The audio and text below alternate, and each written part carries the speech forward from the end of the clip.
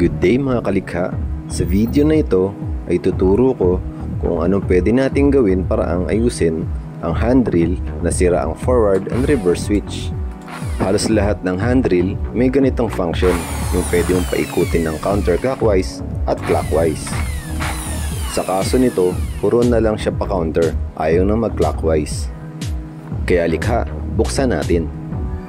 Bago ang lahat, tanggalin muna natin ang plug nito. Safety first palagi mga kalikha.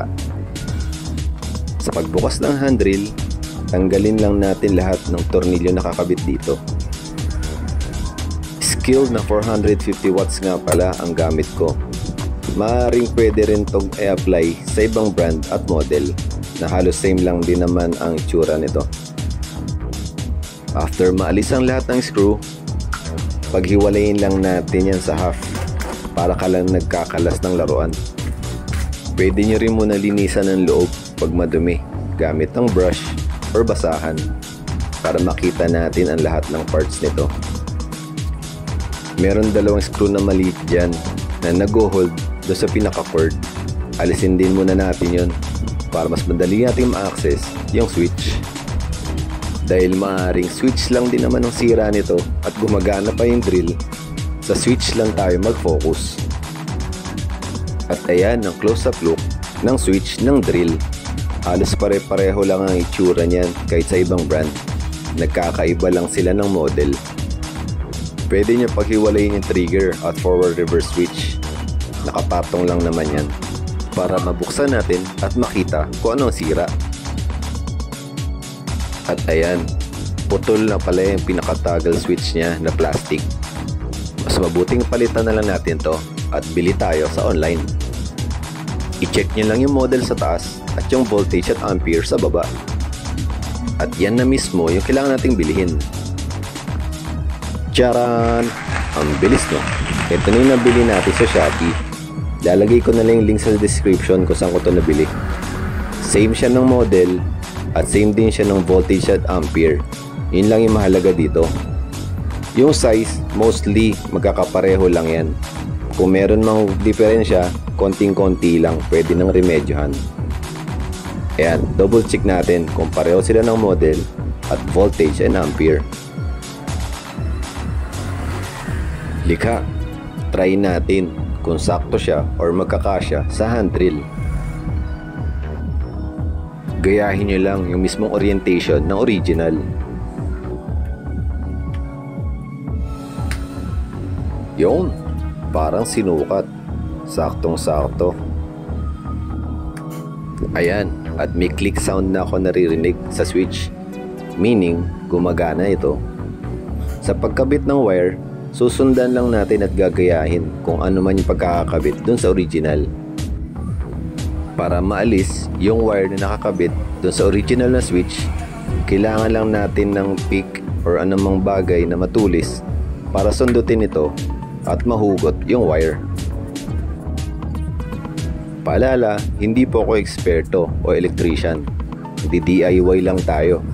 Pero sa pagkakataong ito, halos gagayahin lang naman natin kung ano yung format ng original. Nag-research din muna ako mabuti bago ito gawin. At mabuting ganun din gawin nyo sa product nyo. Ang diskarte ko dito, aalisin ko muna pa isa-isa yung wire at ikakabit ko kung saang posisyon nito nakapwesto. Kagaya niyan, same na block pero left sa left, right sa right. Ganun lang yung diskarte ko.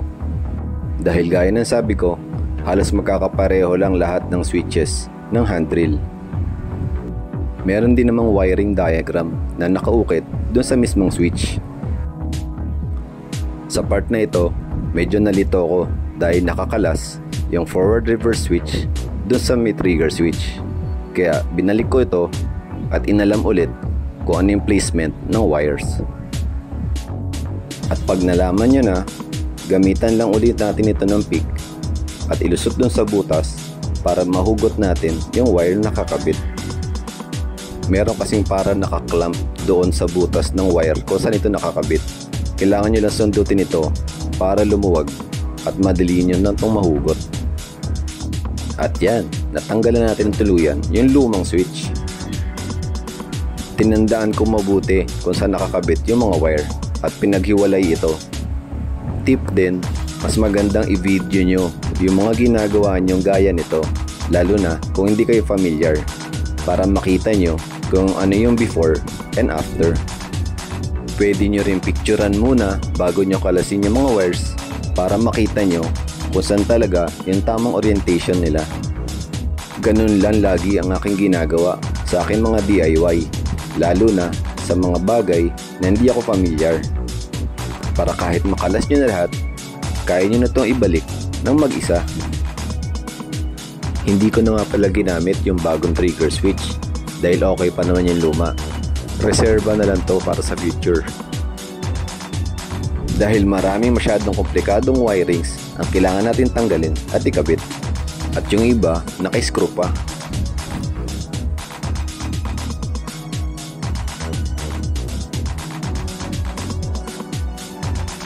Ayan. At compatible naman yung bagong forward reverse switch dun sa lumang trigger. At gumagana naman siya ng maayos.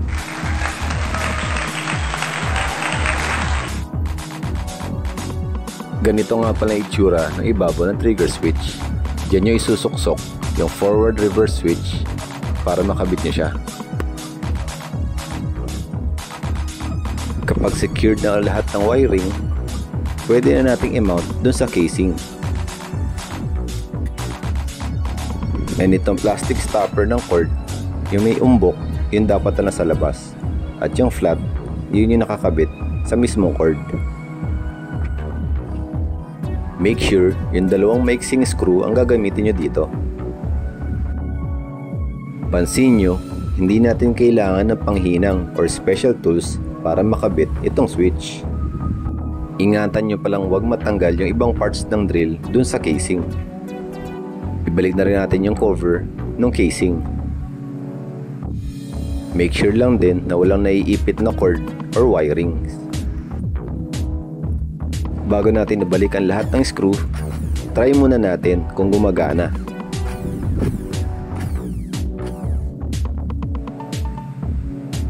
Clockwise. Check. Counterclockwise. Check din. Ayos.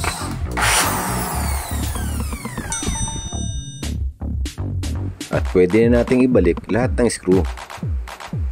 Tandaan, tanggalin muna natin yung saksak para hindi tayo madisgrasya or makuryente.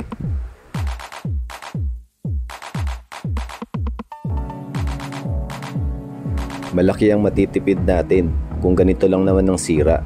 Hindi na natin kailangan dalin pa sa electrician dahil kayo mismo kaya nyo na itong gawin sa inyong mga bahay. Subukan din natin kung gumagana yung selector ng drill pag nasa hammer mode, dapat meron tong play. Ito nga pala yung specifications ng drill ko. Kung pareho rin sa inyo, pause nyo na lang yung video para mas mabasa nyo yung detail.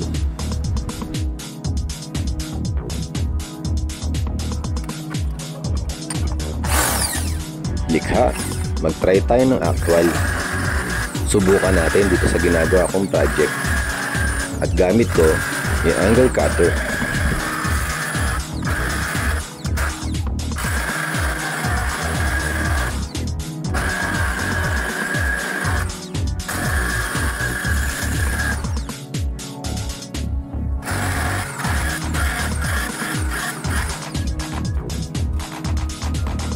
Alright.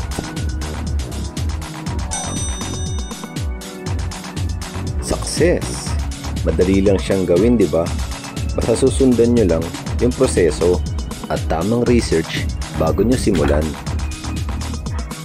Sa mga ganitong diskarte, bukod sa makakatipid na kayo, may matututunan pa kayong bago. Hindi madali ang buhay, pero walang imposible sa taong gustong matuto at may tiwala sa proseso. Hanggang sa muli, ako si Christian Likha na!